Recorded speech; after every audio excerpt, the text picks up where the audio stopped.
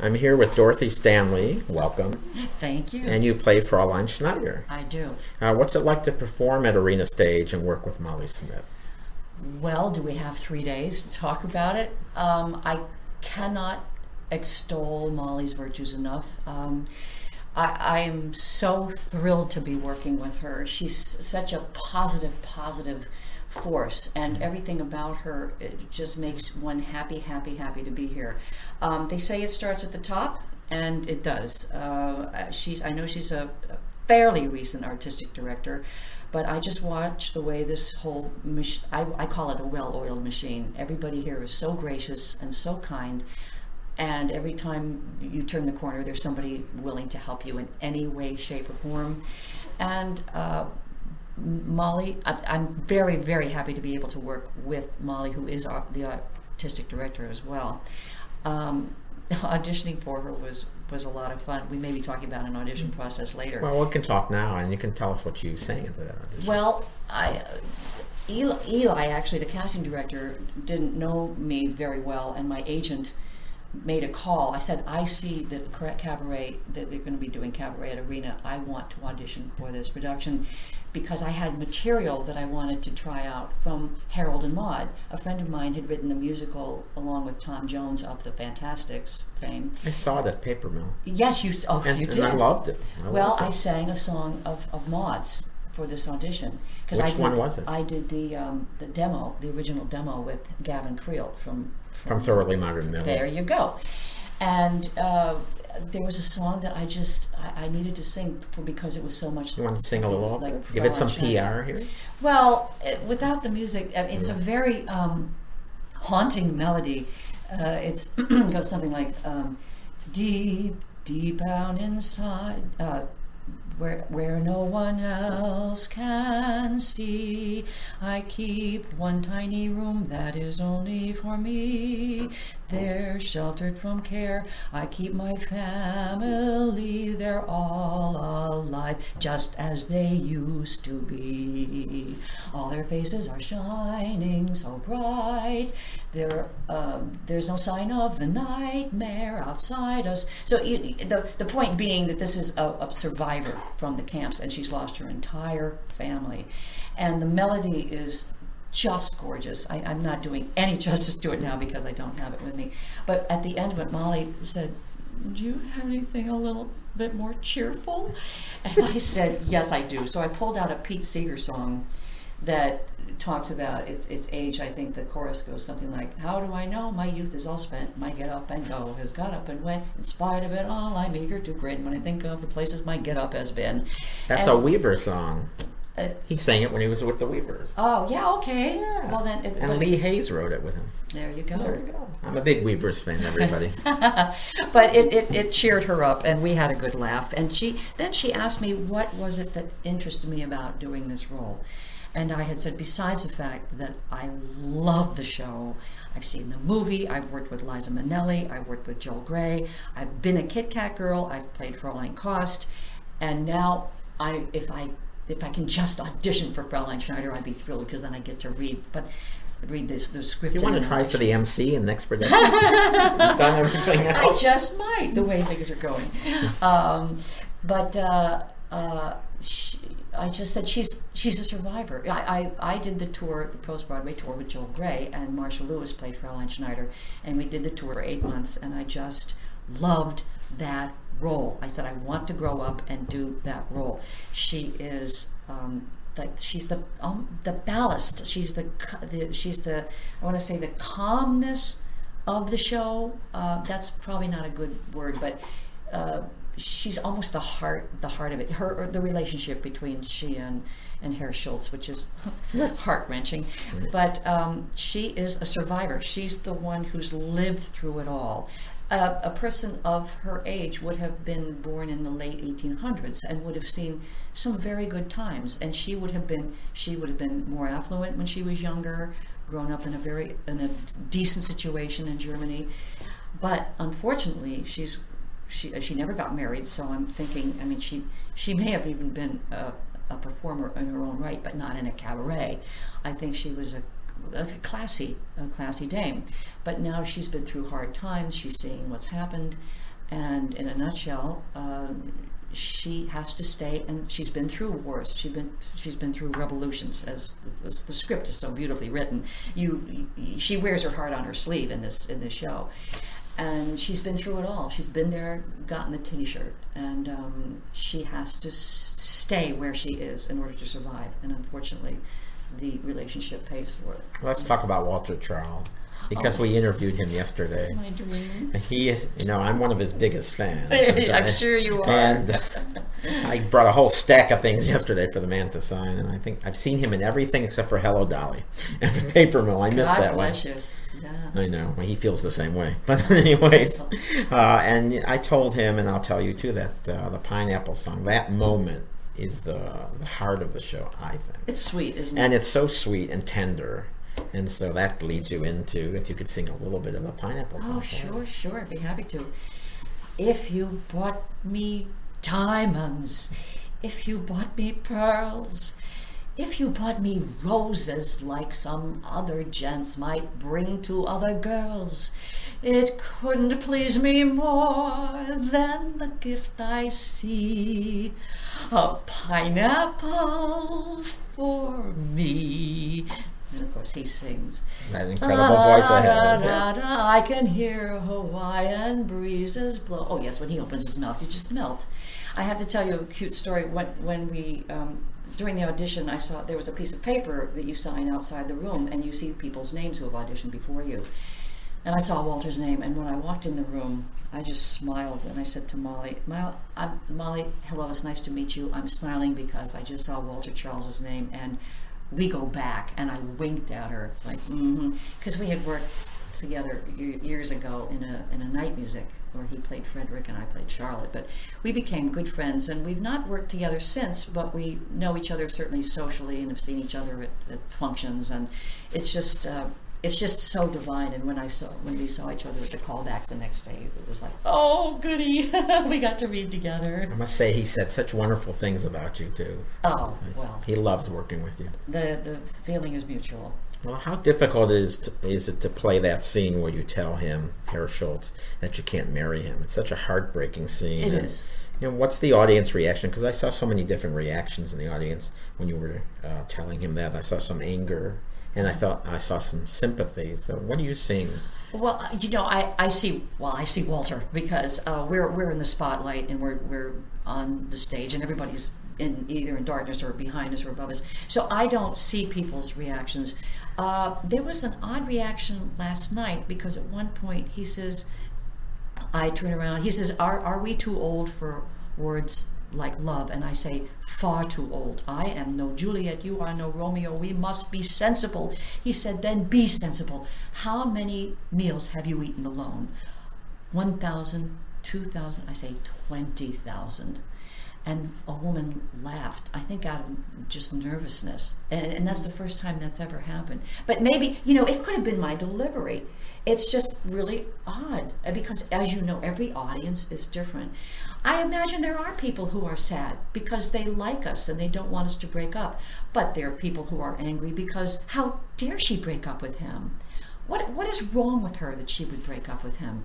And if they're listening they'll they'll I mean, it's hard for me to say that, you know, to, to, to say, I, I, I can't marry you because the Nazis are coming and you're in trouble and you you know you're gonna you're gonna go off to the camp. I mean, I can't. I don't know that future, but I need to stay where I'm secure, and I can't do that if we get married.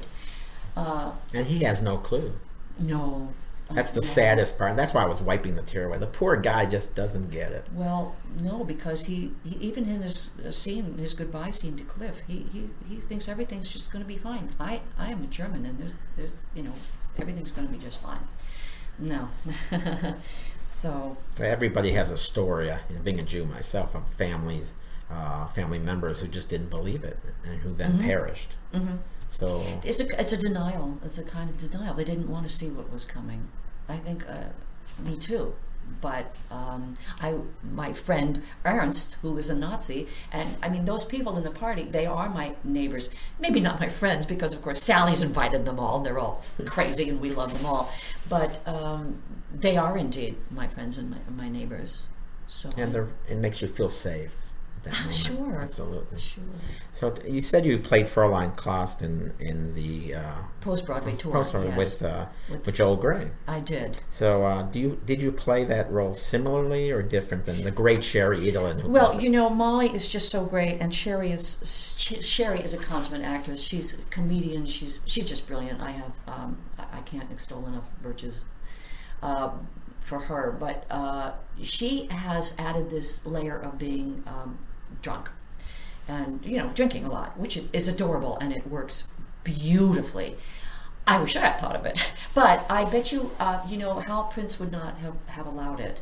He actually took um, Joel Blum's being drunk in Showboat out of a, of, of a scene that he was supposed. It says in the scene he comes in drunk, but there was something about being inebriated, and he just didn't. He he would not probably have let that fly. maybe because it's so overdone sometimes it takes Well, away maybe, from the story. but I mean, Sherry has it down. She's she's got all the nuances, but she's not. It's not like you're watching a, just you know a regular drunk. I know she's just she's flowered it and uh, put layers on it that are just brilliant. But no, I was a classy whore. I you should have seen my clothes. You should have seen my clothes at, in the Broadway show. I mean, they were just phenomenal. And I had a beautiful robe and a beautiful corset and bustier, and and also it just wasn't that racy. You know, it wasn't as racy and as raw as as this. it was a different time, and so most Broadway musicals, Sure. even if they were political, they had to gear it towards families. That's right. That's, right. That's where their audience was. Well, and this was, you know, this was, of course, of a, a tour in the Midwest and all over, and you know, we had to be careful. But how it was a very safe and good-looking and beautiful show, um, and Joel Grey was was was, was great. Um, the Fraulein Schneider was tremendous. Who was it? It was uh, Marcia Lewis. Who was in Chicago? Marcia Lewis, who was in Chicago, yeah. And and Michael Allinson played Herr Schultz, who was uh, Rex Harrison's understudy for years. Looked, he even looked like him. Did he ever go on? I wonder. I yes, he did. Yeah, Good. sure. And we'll talk about your understanding Okay. later. Right. well, let's talk about coming from the worst pies in London. Ah. This great uh, production that John Doyle won the Tony Yes, for for yes. Best Director. And I saw it twice, and I was up there the last weekend when it closed because I had to go see it again. Because the first time I was there and took my group on a New York trip, we do that twice a year. Mm-hmm. We see five shows in a weekend, and uh, I was in the second row, which was too scary for me. Did the Tobias get you with his? Yes, he did. Of course, of course. He played the audience Manuel. Manuel, Manuel, right. Yeah, he, he got me pretty so. Mm-hmm. And uh, so I wanted to sit in the back of, more in the middle, towards the back on the aisle this time, so I could really absorb it and not get absorbed, if you know what I mean, or attacked. Mm-hmm. And uh, what a wonderful production! Uh, you were Patti LuPone's standby. I was. So can you explain to our listeners what a standby is, what they do, Sure. and uh, how it's different from being an understudy? Sure. We were uh, all standbys. There, there were no understudies because understudies usually have their own track in a show and go on for the person that they are covering. A standby is not in the show at all. We don't have to put on makeup, costumes. We don't appear on stage ever uh, unless that person is out. Um, and uh, then, of course, there are swings. But swings are people who go on for mainly a lot of people. That's probably why they're called swings. There was one, for instance, there was one girl who, who swung for 24 different chorus girls in 42nd Street when they first opened. Then they hired some extra girls. But anyway, we'll go back to Sweeney Todd. Originally, there were four of us two older people um, and myself, and I mean, two, two older people. I was one of the older people, and Merwin Foard covered Michael Cerveris and the judge, and Fogg, and I covered um, not only Patty, but Donna Lynne Champlin and Tobias on the violin, and Fogg on the on the synthesizer, even though he played the string bass. And I say that we had un- musical understudies because the score would never be compromised. So if someone were out, if one of the leads were out that did not play that instrument, one of us would play that instrument on the stage, but in, in the back and not not in light, not in full light. Um, it was the most daunting show I've ever been cast in. Uh, it, it, it was frightening because there were only four of us to cover 10 roles until we opened. And once we opened, the stage manager showed the producers that there were 49 different combinations for which they'd have to cancel the show in case one or two of people the people were out. So uh, that never happened. It almost happened, but it didn't. And uh, we we got three more covers. So that in understudy rehearsals, we at least had seven people plus the stage managers to do all ten roles. But it was a joke at first because there were only four people to do ten roles in understudy rehearsal, and it was very hard. It was also, I have to say, probably the most exciting uh, audition that I ever landed. I mean, I should say role that I ever landed, but the audition was was quite something. I had to get you know Sondheim's approval at the end, but to get offered that job was probably mo- more exciting than almost anything, except for the day that Hal Prince called me personally at 10 o'clock in the morning. I'd just gotten out of bed, and he said, "Hi, Dottie, this is Hal Prince. I just want you to know that I want you to play Ellie in Showboat." And I, I mean, I literally, I jumped, and the, the, the phone went out of my hand, and I'm going, "Oh my god!" But uh, that doesn't happen very often. But um, it was just so exciting to get cast in Sweeney. And then this was coming here. I actually was. I knew that I knew that Sweeney was coming to an end at some point. I, we didn't know when. Labor Day, November, Thanksgiving, first of the year, and I saw this cabaret on the breakdowns, and I said, you know what? I just want to audition for it. And when I got cast for it, I gave my notice to Sweeney, and and a week later, I got a phone call from the company manager saying that Sweeney was going to close on Labor Day. So this was a really good move on my part.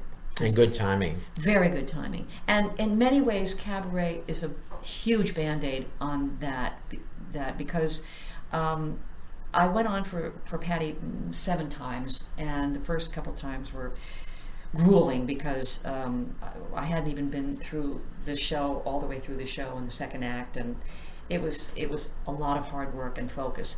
But you know, the more you go on, the easier it gets. And I, the last time I went on was three times in a row, and I can only say that I have a shrine to Michael Cerveris in Uh, my you know, apartment. I love him, and He's phenomenal. The, uh, the entire cast is phenomenal. And let me tell you, when I went on, they rallied around me and were so fantastic.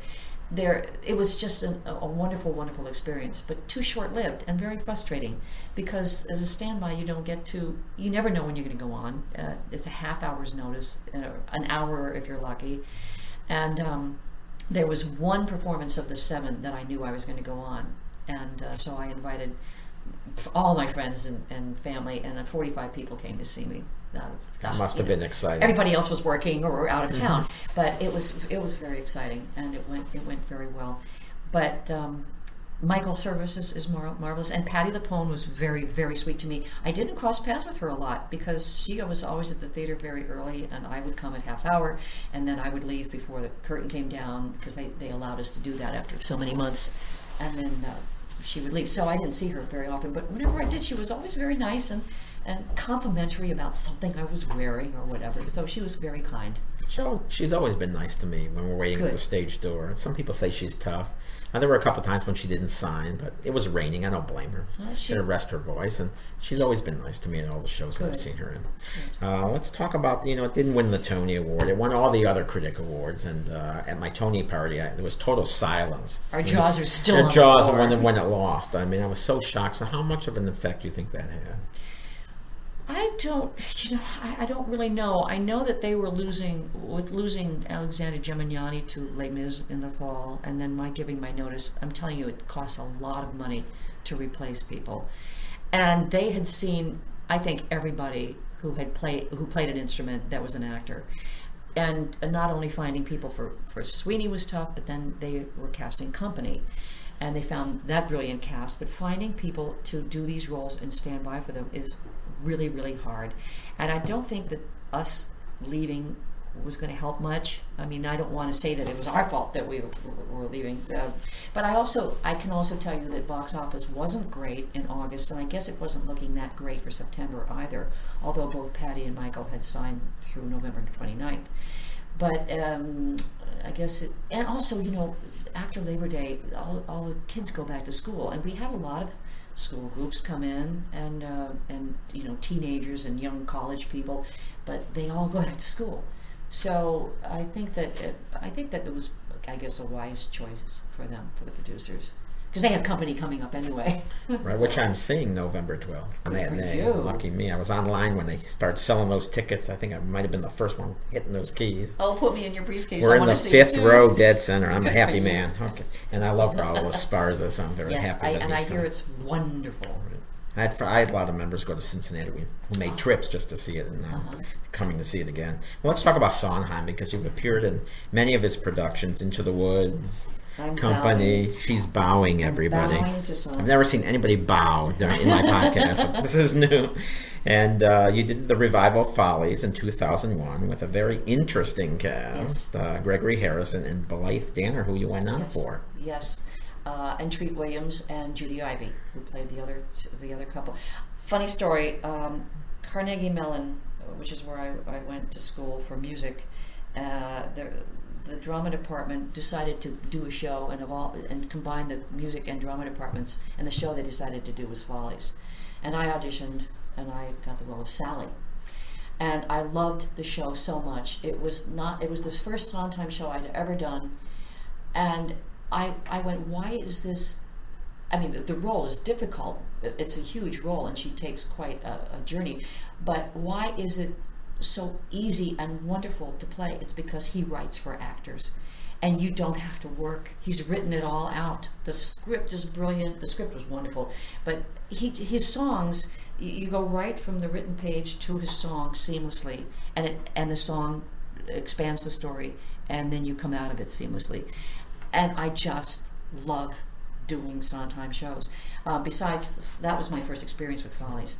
Now, when Follies came around, the revival on Broadway, I said I. They called me into uh, understudy Judy Ivey, who was playing Sally Plummer, and I didn't want to play Sally. I didn't want to understudy Sally, although I came in. I, and I did the lines. I read. I read the sides they gave me. I sang a Phyllis song, "Could I Leave You," and I ended up getting cast as not only Phyllis uh, as as um, Phyllis, which was played by Blythe Danner, but also I covered Polly Bergen, who was uh, Carlotta. Who did I- I'm Still Here? And she did a great job I'm still that. Mm-hmm. here, and and Marge Champion, who was Emily, and then Carol Woods, who was Stella. So I covered four roles, and I went on for all of them at any given time.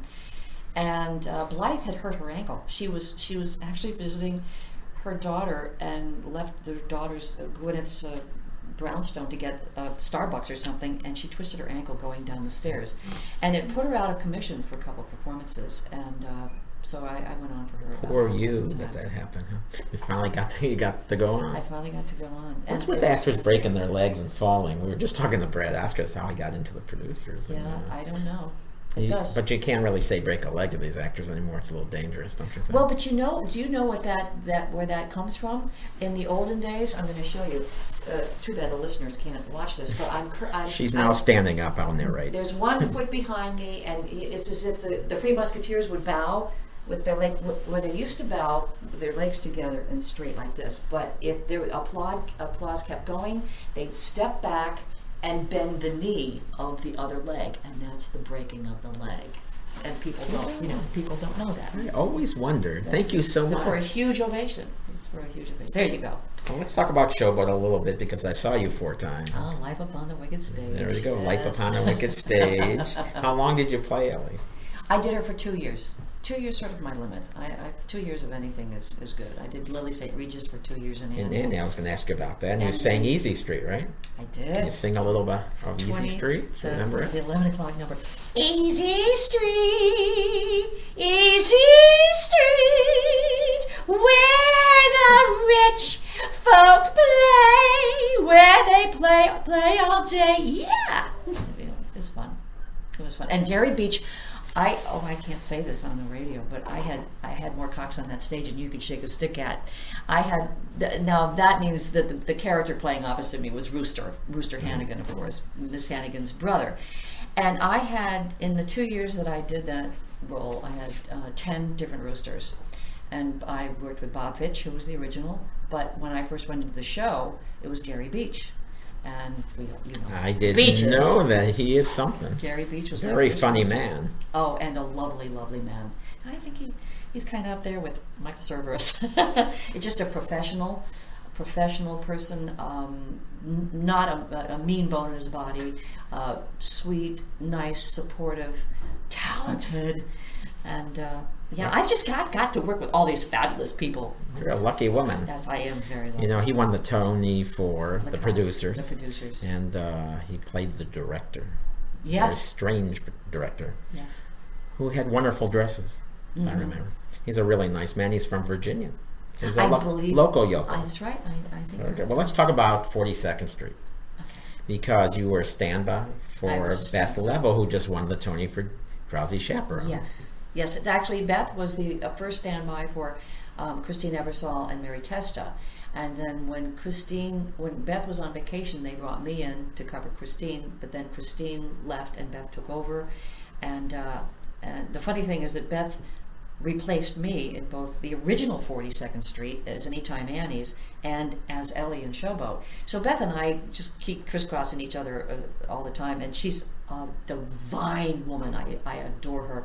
Uh, and I, in Drowsy, I mean, she so deserved the Tony. She just, She's I so was so happy. I was so happy when she won. She's such a wonderful person, and she's got such a great sense of humor, and she's, you know, she's paid her dues in this business, and, and she, it was just great to see her. Have you, carry that off have you seen Christine in Grey Gardens, which we're seeing in November 12th? Unfortunately, I have not. You know, when we're doing shows, it's it's difficult when they're when other shows are on the same schedule to see them. And then the last thing you want to do on your Monday night or Sunday night off is, is to go see another show. But th- I would have seen it. The, there was just not the opportunity. Well, you have another opportunity. It's it's moving to the Walter Kerr. I, I understand that. As a matter of fact, they called me to come into audition to stand by for her in that. And with after looking at 42 pages of material, I said, you know what? It actually, I, I'm sorry, I, I have to pass on the audition because I'm going to, I'm going to Arena Stage to do cabaret because they conflicted. The two jobs would have conflicted anyway. Or maybe later. Who knows? You if never it's a big hit, which I'm praying for. It's a wonderful show. And talk about Madame uh, Renaud, which you played in La Cage aux Folles with Gary Beach again. with Gary Beach, and uh, it's the first time I, I um, met Merwin Foard, and it was fun. That just it's an after, it's a post uh, script here, but um, Merwin Foard and I went from a married couple in in Lacage right into the two standbys for for um, Sweeney Todd. Todd. Yeah, which was which was fun. Madame Renaud, it's a it's a small role. We're, we're cafe owners. Evidently, the the role of of Renaud was written for Walter Charles in the original cabaret, so he tells me. And uh, and so we had these cafe owners, and we understudied. Again, I understudied Jacqueline and Madame Dindon, and Merwin understudied Mr. Uh, the Dindon himself. And I think that was it. I think he only covered um, Dindon, but. Uh, it, it was it was fun. It was fun. Um, I was there. There I am an understudy with my own track, and then I did go on for, for both the gals I covered. Well, there's a there's a an experience where it won the Tony, unlike Sweeney Todd, and Yes. three weeks later it was gone. Oh, how'd that happen? It's just so sad. You know, I don't understand it. We're there standing, we're there with audiences jumping to their feet every night. And the same thing with Assassins. The same thing happened to Assassins. exactly same thing was brilliant with You know, Raul again. Yes, and and Cerveris. Cerveris won the Tony. Um, and I, I, don't- I don't I don't understand it. You'd have to talk to the producers about that. that, that It's reason. been strange. It's a strange uh, occupation, isn't it? You never know what's going to happen. You do you do not. Some great shows just don't make it, and some that shouldn't run so long do. Mm-hmm, Isn't that true?